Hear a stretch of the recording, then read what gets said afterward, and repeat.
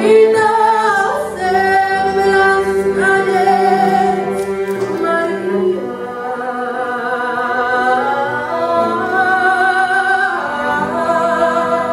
María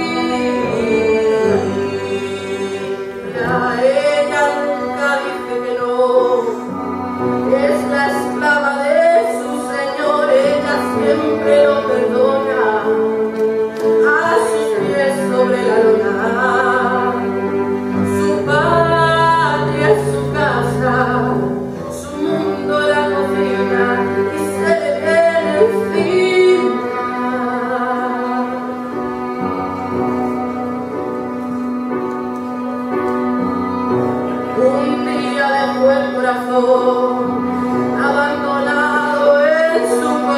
solo piensa al su cuerpo. Ay, del quinto mandamiento.